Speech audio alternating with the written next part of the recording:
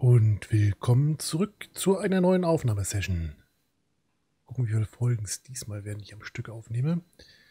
Ja, wir waren irgendwo stehen geblieben. Mit dem Papageien. Ja?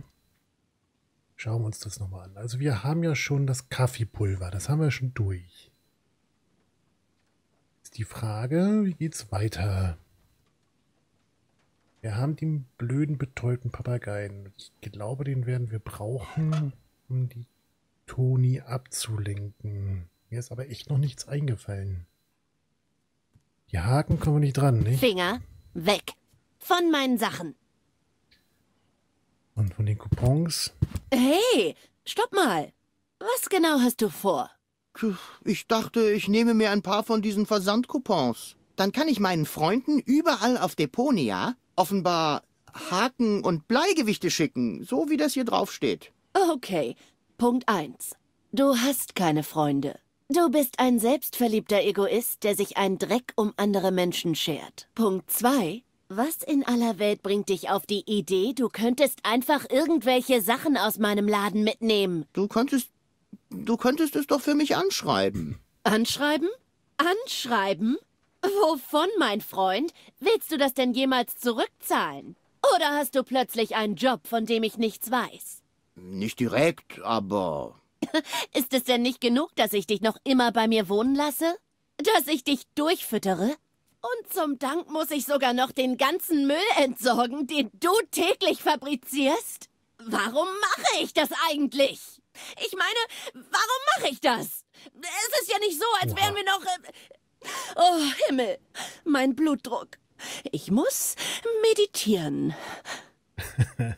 Einatmen, ausatmen. Tja, ähm, Moment, jetzt guckt sie nicht hin. Ah, ouch! Ey! Um, Achso, das, äh, okay. Wir haben. Aua! Guck mal! so eine kleine Wunde und doch so viel Genugtuung. Das heißt, äh, warte mal, du kleine Ratte. Hast du etwa wieder versucht, Haken zu klauen? Toni, bitte, ich verblute hier. Wenn auch nur die geringste Hoffnung bestünde, dass du jemals aus deinen Fehlern lernen könntest, würde ich sagen, mach doch. Aber leider hast du einmal zu oft bewiesen, dass du niemals dazu lernen wirst. Also hier, nimm den Apothekenschlüssel und verzieh dich aus meinem Laden. Das war ja jetzt einfach. Wenn du Find nicht ich immer gut. gleich so meckern würdest, würde ich vielleicht auch mal zuhören. Jo. Okay, wir haben einen Apothekenschlüssel. Äh, achso, haben wir jetzt auch einen Haken? Moment. Ist da vielleicht noch einer am Finger hängen geblieben? Oh ja, da ein Haken. Moment. So. Den Apothekenschlüssel haben wir auch. Moment, da gehen wir zuerst hin.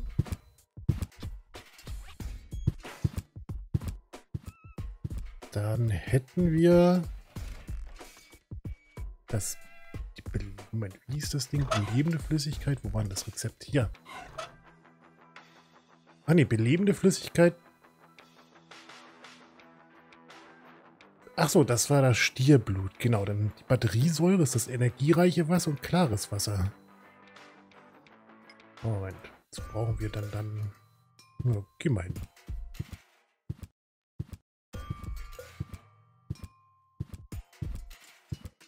Wenn wir da schon rankommen, dann plündern wir die Apotheke auch.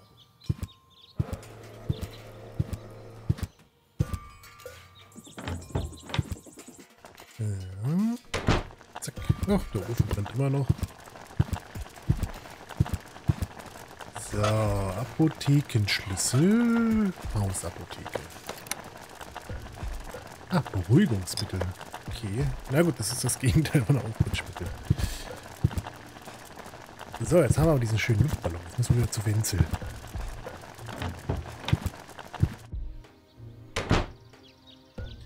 Da haben wir ja schon Löcher unten ins Rohr gebohrt. Und am Anfang hatten wir ja gesehen, wenn wir da dran ziehen, kommt da Wasser raus. Das muss das Ding bloß da drüber sein.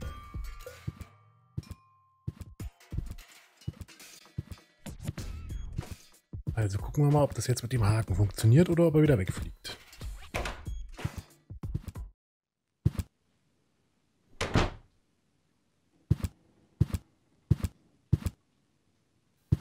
So.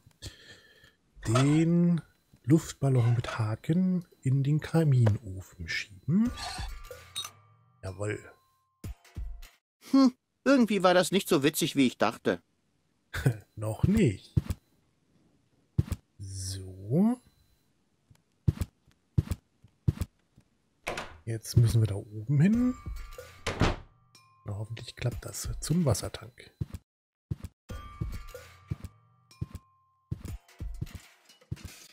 Das Häuschen rein. In der Gasse haben wir gerade auch nichts. Hoffen wir mal, dass Wenzel uns seine Wartenummer gibt.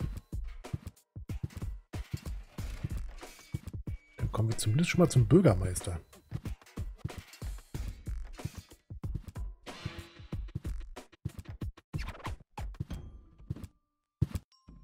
So, wir schubsen das Rohr.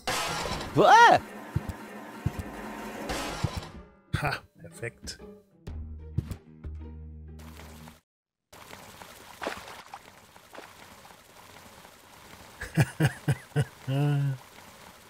Der arme Wenzel, sein zartes Herz wird brechen, wenn er merkt, dass die Quelle in seinem Keller nicht echt ist. Schnell, bevor ich's verpasse.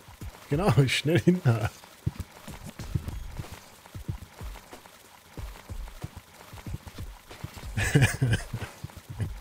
Ach, das ist schon ein toller Freund.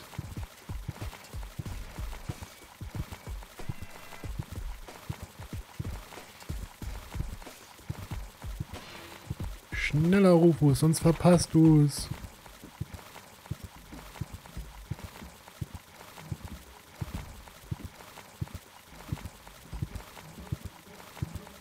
So, jetzt. Oha, er hat schon gemerkt. Wenzel? Ich bin hier unten. Komm schnell. Du wirst es kaum glauben. Der arme Wenzel denkt noch immer, er hätte eine Wasserader gefunden. Dabei ist es nur eine Überschwemmung im Keller. So ein Pech. Was ist denn los, Pech. Wenzel? Ich habe eine Wasserader gefunden. Weißt du, Wenzel, freu dich lieber nicht zu früh. Manchmal denkt man, man hätte eine Wasserader gefunden. Dabei ist es nur... Moment mal, das ist ja tatsächlich eine Wasserader. Unglaublich, nicht wahr? Ich bin reich. Aber das kann doch gar nicht sein. Das verdanke ich nur dir, beziehungsweise der Wünschelrute deines Vaters. Du bist ein wahrer Freund. Weißt du was? Du hast mit mir geteilt und jetzt teile ich mit dir. Wirklich? Natürlich. Und zwar diesen glücklichen Moment des Triumphes.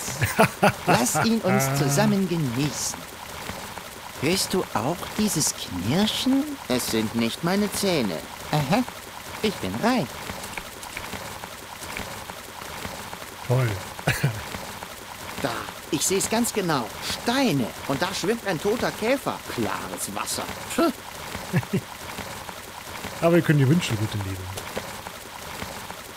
Und ist doch von diesem Geplätscher entfernt. Das ist ja furchtbar, aber bald wir oben. Sind wir ja schon hin. Mal zu das Ding hier. Ach, hilft nicht. Schade. So, er ist reich. Folge ist er ja wahrscheinlich im Rathaus, oder? Schnell raus hier, das Geplätscher geht ihm auf den Keks. So. Können wir da oben das Ding wieder ausschalten, damit es nicht ganz so dolle plätschert?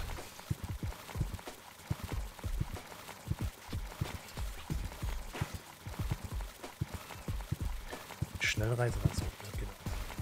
Das war's wohl mit der Trinkwasserreserve. Wenigstens geschah es für einen guten Zweck.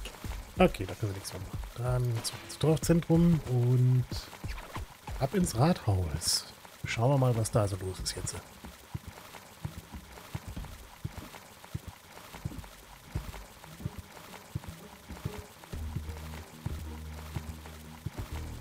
So. Hm?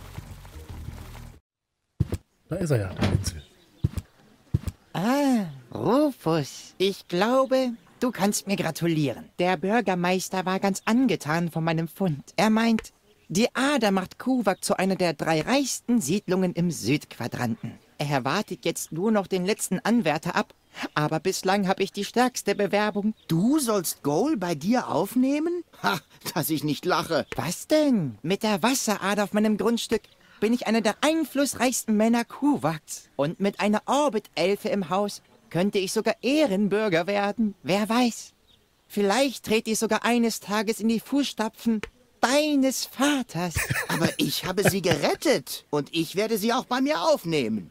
Ach, Rufus, du hast doch nicht mal ein eigenes Haus. Was willst du dem Bürgermeister also erzählen? Naja, ich... Äh, Nummer 63, bitte! Das sind wir. bin ich jetzt endlich dran? Ja, doch! Ich habe dich doch auch schon aufgerufen! Oder etwa nicht? Okay. So, der Vince noch was zu Ach, erzählen? Rufus, was willst du dem Bürgermeister also erzählen? Naja, ich... Das hatten wir äh, schon. Na, wir gucken mal, was wir ihm erzählen. ne? Gehen wir erstmal rein. Na? Oder auch nicht? Ähm. Ah, jetzt. Lotek, ich muss mit Ihnen reden. Es geht um... So denn? Lotek?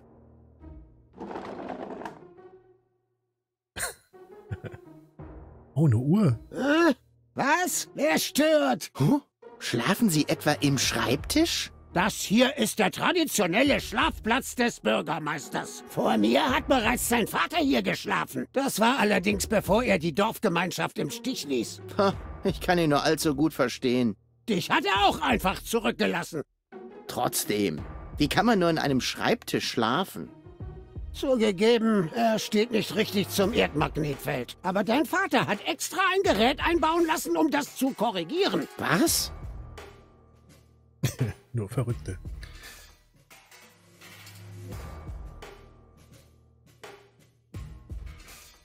Anstatt den Schreibtisch zu verrücken, hat mein Vater lieber das Erdmagnetfeld manipuliert?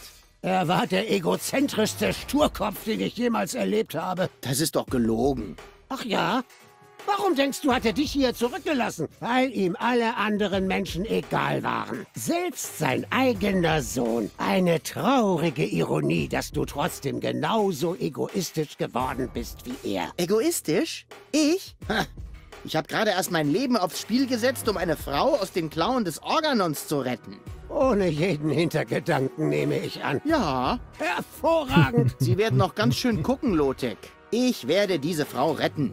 Und dann wird jeder Mensch auf diesem Planeten sehen, wie uneigennützig ich bin. Aber dann ist es zu spät. Dann sitze ich nämlich bereits in Elysium bei einem Cocktail und lache über euch Idioten, die ihr weiterhin im Schutt wühlen müsst. So. Ich bin wegen der Elysianerin hier. Das sind sie alle, aber du kommst zu spät. Die Anhörung ist abgeschlossen. Abgeschlossen? Aber ich habe sie gefunden. Soweit ich weiß, hat Hanek sie gefunden. Ich habe sie vorher gefunden. Und sie einfach liegen lassen. Nein, das war anders. Also mit solchen Argumenten hättest du nicht einmal dann eine Chance, wenn die Anhörung nicht bereits beendet wäre. Aber sie verdankt mir ihr Leben. Schwer vorstellbar, wo sich doch 90 Prozent aller Verletzungen in Kuwak auf dich zurückführen lassen. Aber davon sind wiederum 90 Prozent meine eigenen Verletzungen. Hör mal, Rufus. Immer wenn Chaos in Kuwak ausbricht, bist du die Ursache. Am Ende ist es wahrscheinlich sogar deine Schuld, dass das Mädchen vom Himmel gefallen ist. Nein, das war anders. Also mit solchen Argumenten hättest du nicht einmal dann eine Chance, Nein, wenn die nicht Anhörung schuld. nicht bereits beendet wäre. Okay. Aber sie muss zurück in ihre Welt. Zurück nach Elysium?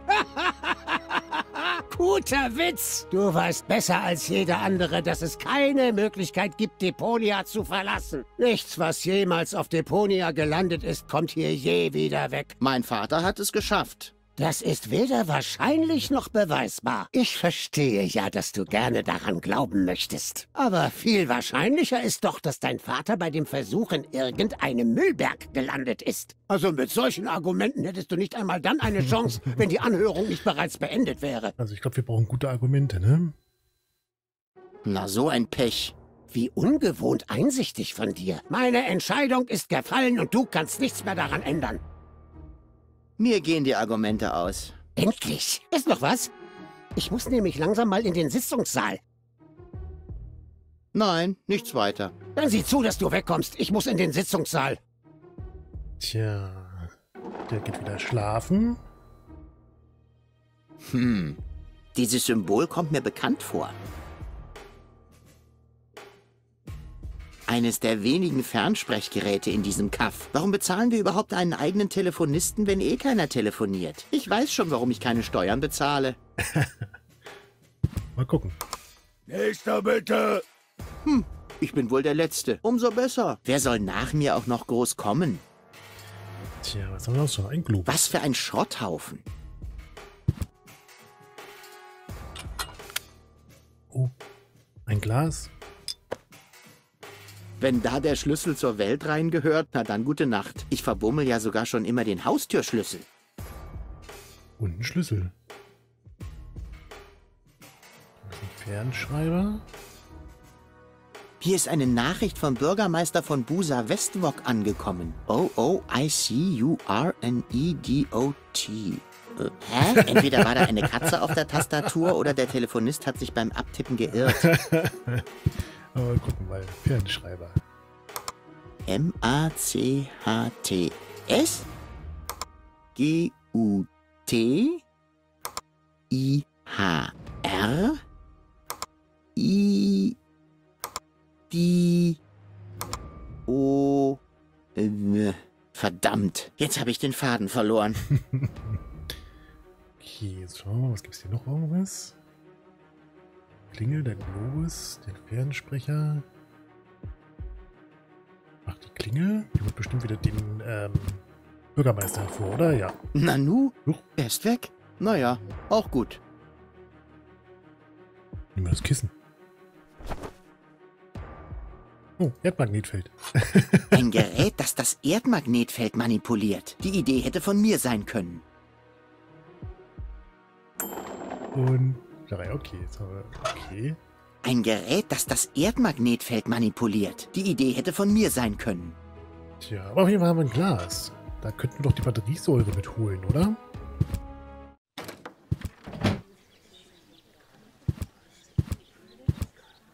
So, gehen wir doch mal nach da vorne.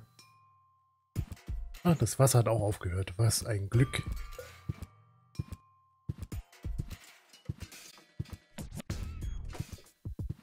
So, da, da, da, dum. Äh, sind wir endlich da. So, der ist immer noch wütend. Äh, das Gläschen.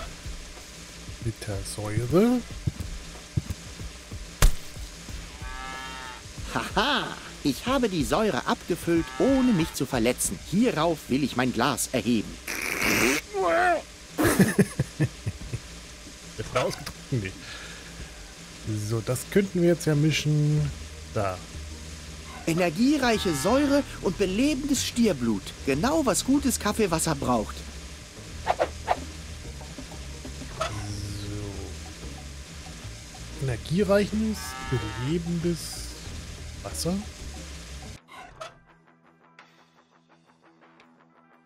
Den Weihnachtsurteil muss das alles in das Glas. Okay. Das heißt, wir brauchen noch etwas klares Wasser. Dann gucken wir doch mal, ob nicht die Quelle unten beim Wenzel uns das schon liefert.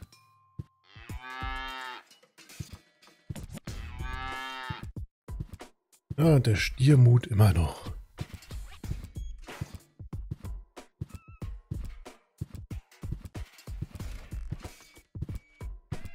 Gucken, ob uns der Wenzel überhaupt dran lässt an die Wasserquelle. Wahrscheinlich nicht mehr.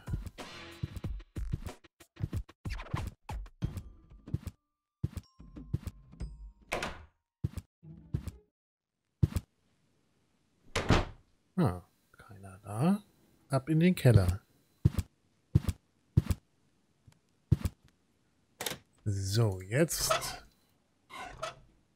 Ich will mit Wenzels stinkender Quelle nichts zu tun haben. Oh. Okay, das geht nicht. Dann, ähm.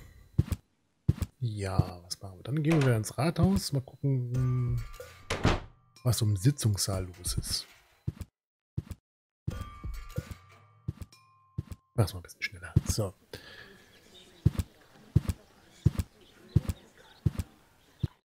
Ich kann nicht empfehlen, sie in diesem Zustand zu bewegen. Was ist denn das für ein Zustand? Ich verstehe es immer noch nicht. Ich meine, ist sie tot? Nein, nein. Ihr Körper ist lebendig und gesund. Es ist ihr Bewusstsein. Es ist inaktiv. Also schläft sie. Es ist schon ein wenig komplizierter. Ich glaube, es hat mit diesem Implantat zu tun. Es ist the Ein Bewusstseinsimplantat? Gibt es denn keinen Schalter? Eine Sicherung. Äh, Vielleicht sind die Kontakte verrostet. Das passiert mir bei meiner Gegensprechanlage ständig. Ich habe alles überprüft, aber das ist elysianische Technologie. Ich habe keine Idee, wie man sie bedient. Ich habe ja nicht einmal einen passenden Schraubenschlüssel. Und wann kann ich sie dann endlich mitnehmen? Erst einmal muss sie aufwachen. Okay, okay, ich sehe schon. Diese Situation erfordert eine Regierungsentscheidung. Wir machen es so. Wenn du sie aufwecken kannst, kannst du sie auch haben. Und wenn ich sie aufwecke? Rufus, du hast hier nichts zu suchen. Aber ich habe einen Plan. Deine Pläne sind mir bekannt. Du denkst nichts richtig zu Ende. Alles, was du erreichst, ist ein großes Chaos. Und am Ende gibt es eine Explosion. Na, das wollen wir doch mal sehen. Ich warne dich, halte dich von dem Mädchen fern.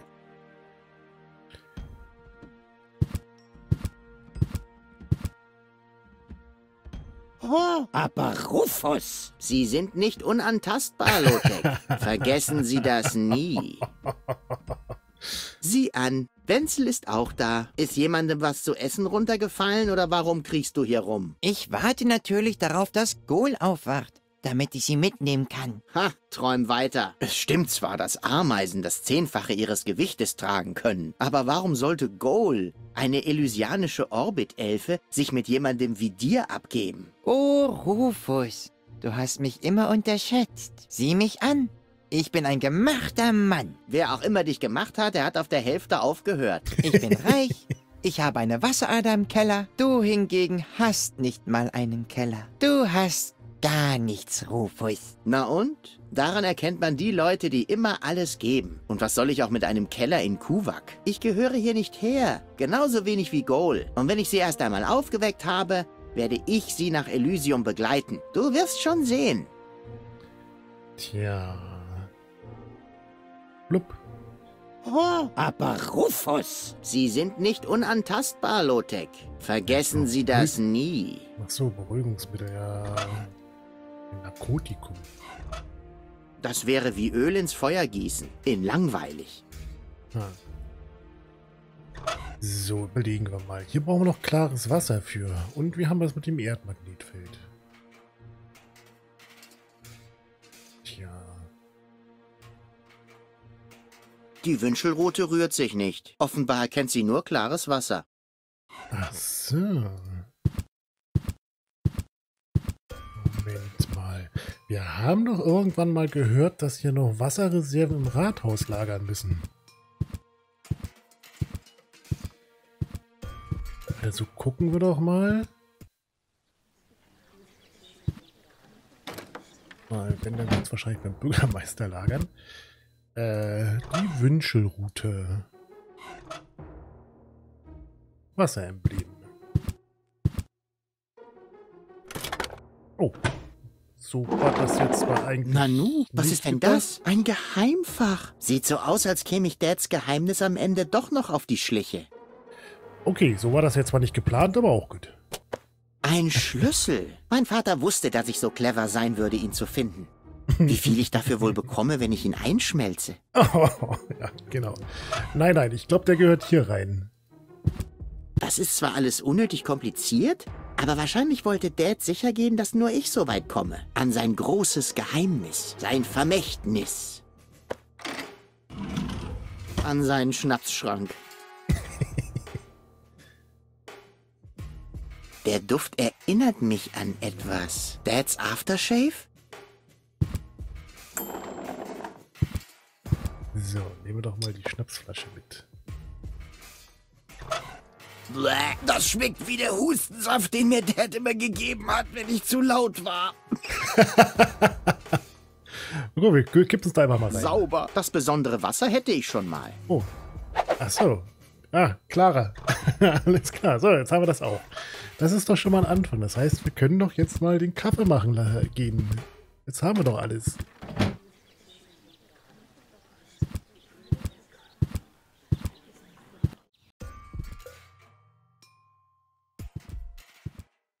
So, gehen wir doch mal nach, äh, wie ist er, Lonzo Gonzo? Lonzo. So. Espresso ist fertig. Moment, da kann man den Tank. Ab in den Tank damit. So, das war's. Ich habe alle Zutaten gefunden. Wundervoll. Ich kann dir kaum sagen, wie gespannt ich bin, was jetzt passiert. Äh, ich dachte, wir machen Espresso. ja, du hast recht. Dies ist ein erhabener Moment. Wir sollten ihn nicht mit Bedenken über Atomkerninnendrücke zerstören. Atomkerninnendrücke? Höret, ihr Götter der Vorväter! Mit edelsten Zutaten und unter höchster Kompression bitten wir euch, öffnet die Pforte zum Espresso-Versum! Oh, Backe. Oh, Mehr Druck! Mehr Druck! Okay, äh, okay. das geht doch schief.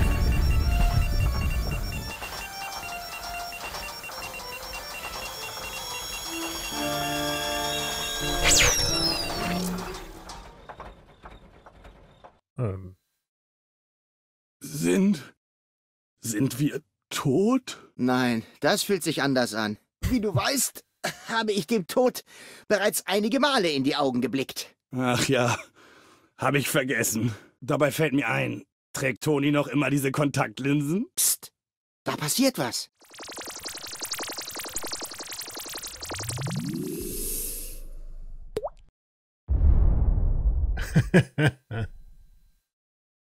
okay. Aua. Puh. Hm, Ich glaube, das Zeug könnte seinen Zweck erfüllen.